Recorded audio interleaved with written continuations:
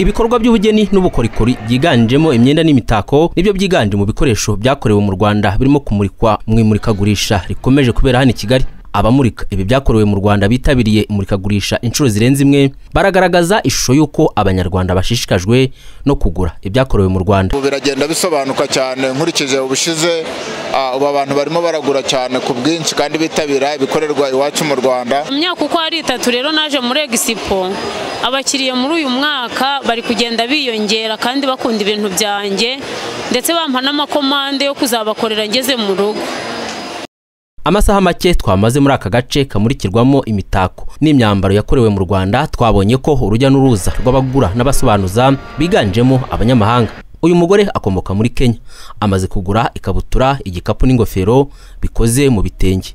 Abigura ibihumbi makumyabiri.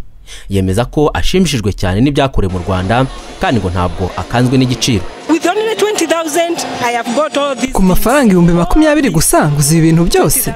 Ni byiza cyane nabikunze.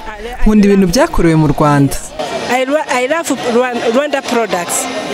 tukiri aha hamurikirwa ibyakorewe mu rwanda twabonye umubare munini w'abaza kureba ariko ntibagure umuhoza christine urimo gucuruza no kumurika imyenda yakorewe mu rwanda akeka ko ikibazo gituma abanyarwanda batagura iby'iwabo ari ikibazo rusange cy'ubushobozi ariko ngo barabikunda naho gukunda barakunda barareba bagakunda ahubwo hakabamo ikibazo cy'ubushobozi wenda niko nabyita eh.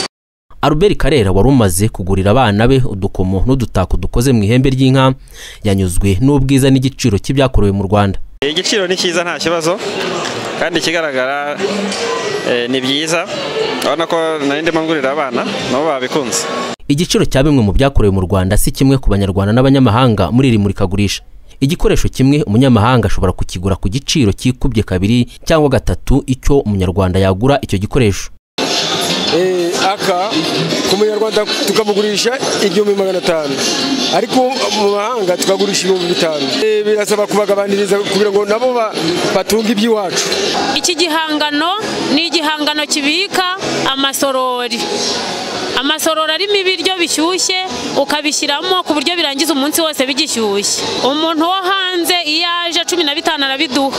Ariko umunyarwanda dushobora kumuca birindwi akagitwara. Ibiciro ntibisa ku banyarwanda n'abanyamahanga ariko ntibibuza ko bamwe mu bamurika ibyakorewe mu Rwanda bavuga ko abanyamahanga ari bo benshi bagura bakanasobanuza ugereranije n'abanyarwanda. Cyakora ngo hari icyizere cy'uko abanyarwanda bazumva neza bakanakunda ibyakorewe iwabo. Bakaba banabigura bitabaye ngombwa ko bagabanyirizwa igiciro.